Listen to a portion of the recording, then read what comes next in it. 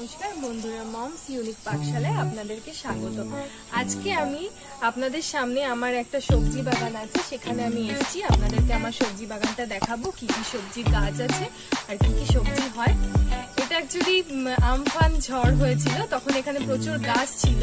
গাছগুলো ভেঙে গেছে এবং লকডাউনের কারণে আমরা নিজেরাই বাড়িতে সবজি চাষ করেছি এবং এই ফ্রেশ সবজিগুলোই আমাদের ডেলি বাড়িতে রান্না হয়। চলুন আমরা দেখে নিই আমাদের কি কি সবজি গাছ আছে। আপনাদের দেখাবো আসুন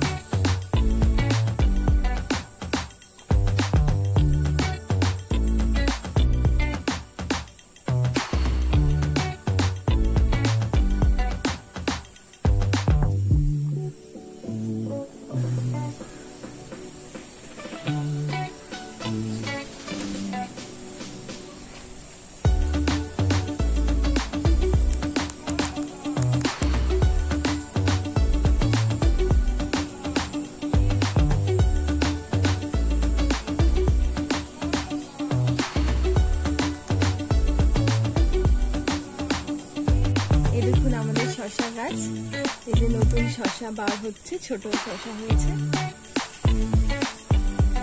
এই দেখুন আমাদের বরবটি গাছ, ছোট একদম গাছ, কিন্তু কত সুন্দর দেখুন। বরবটি হয়েছে, পুরো ভরে গেছে, ছোট ছোট, এগুলো বড় হচ্ছে। এদিকে শিম গাছ হচ্ছে, এগুলো এখনও বড় হয়নি, শিম ধরেনি এখনও। এখানে বেগুন গাছ আছে। বেগুন গাছেও বেগুন হয়, এখন যদিও নেই। এখানেও দেখুন কতগুলো ঝিঙে হয়েছে? ছোট ছোট। এখানে এখানে। দেখুন বন্ধুরা, আমি অনেকগুলো ঢ্যাঁড়স পেয়েছি এবং প্রত্যেকটা ঢ্যাঁড়সই পুরো করছি। প্রত্যেকটা ঢ্যাঁড়স একদম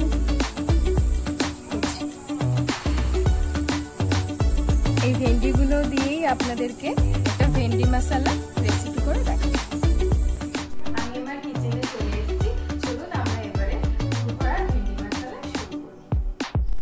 এখানে আমি পাঁচশো গ্রাম ভিন্ডি আগের থেকে ভালো করে ধুয়ে, জল ঝরিয়ে, কাপড় দিয়ে ভালো করে প্রত্যেকটা ভেন্ডি পুছে নিয়েছি।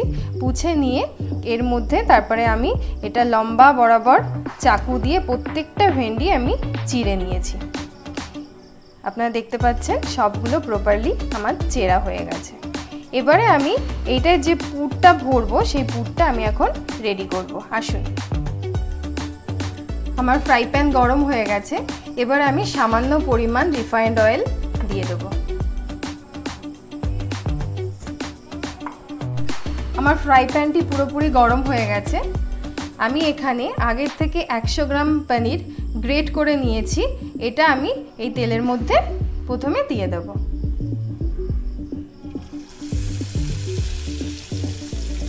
আমার গ্যাসটা কিন্তু লো ফ্লেমেই আছে, আপনারাও লো ফ্লেমেই রাখবেন।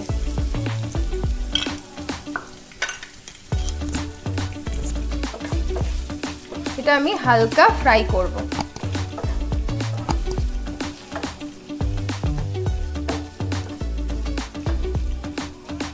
এবার আমি ফ্লেমটা হাই করে দেব। আমি 30 সেকেন্ড মতো এটাকে আমি ফ্রাই করব। আমার 30 সেকেন্ড হয়ে গেছে এবং আবারও আমি গ্যাসের ফ্লেমটা লো করে নিলাম। এবারে আমি এর মধ্যে সামান্য আদা বাটা এবং পাঁচ কোয়া রসুন বাটা এর মধ্যে দিয়ে দেব। দিয়ে আমি এবারে এটাকে আমি এক মিনিট ফ্রাই করব। এক মিনিট ফ্রাই করা হয়ে গেছে। এবারে আমি এর মধ্যে ওয়ান টিস্পুন লঙ্কা গুঁড়ো, ওয়ান টিস্পুন জিরে গুঁড়ো, হাফ টিস্পুন হলুদ, হাফ টিস্পুন গরম মশলা, এক টেবিল স্পুন আমি ধনে গুঁড়ো নিয়েছি এবং এক টেবিল স্পুন আমি আগের থেকে বেসন শুকনো খোলায় রোস্ট করে নিয়েছি, এটা আমি সবগুলোই এর মধ্যে দিয়ে দেবো। দিয়ে আমি এক মিনিট ফ্রাই করব।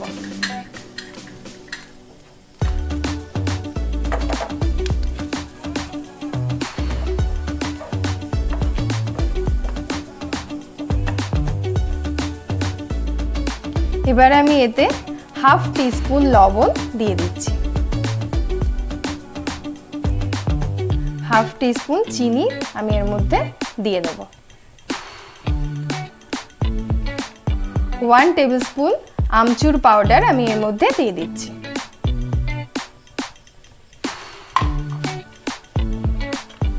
এবার আমি এটা এক মিনিট ফ্রাই করব।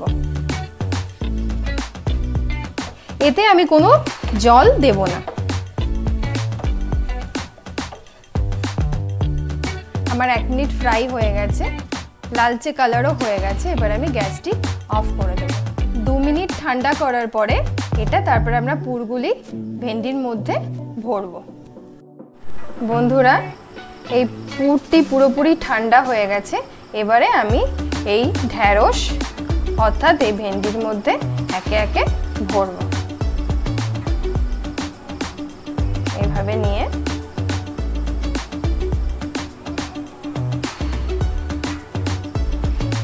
এই রেসিপিটি একদম ইউনিক স্টাইলে এবং নিরামিষ রান্নার দিনে এটা একদম জমে যাবে রেসিপির সঙ্গে। অনেকেই আছেন নিরামিষ খেতে চান না।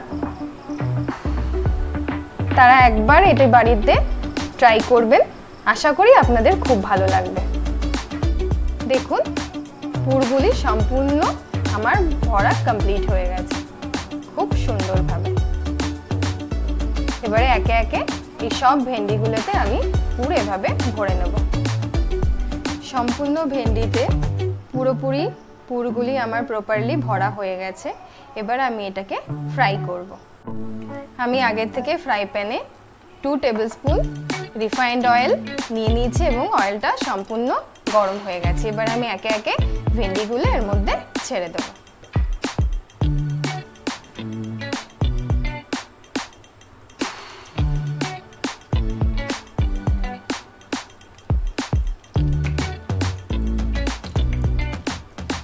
সব ভেন্ডিগুলো আমার দেওয়া হয়ে গেছে। এবারে আমি এটাকে ঢেকে মিডিয়াম ফ্লেমে দু মিনিট ফ্রাই করব। দু মিনিট আমি মিডিয়াম ফ্লেমে ঢেকে ফ্রাই করেছিলাম। দেখুন, অনেকটা ফ্রাই হয়েছে। এবারে আমি গ্যাসটি হাই ফ্লেমে দিয়ে এক মিনিট ফ্রাই করব। করে তারপরে আমি উল্টে দেবো। এবার আমি একে একে সব ভেন্ডিগুলো উল্টে দিচ্ছি।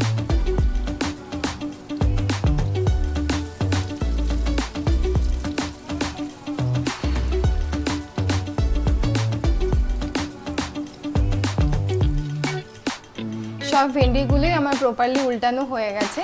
এবারে আমি মিডিয়াম ফ্লেমেই এক মিনিট ফ্রাই করব। বেশিক্ষণ টাইম লাগবে না ভেন্ডি। সবগুলোই অলমোস্ট নরম হয়ে গেছে এবং ফ্রাইও হয়ে গেছে এবং আগের থেকে আমি মশলাগুলি ফ্রাই করে রেখেছিলাম। তো এক মিনিটই আমি ফ্রাই করব।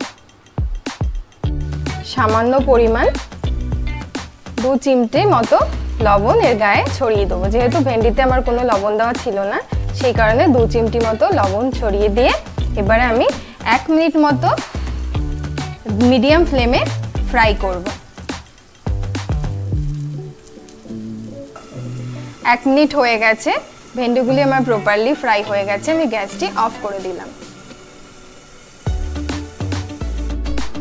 ফ্রেন্ডস পুর ভরা মশলা, ভেন্ডি রেডি টু ইট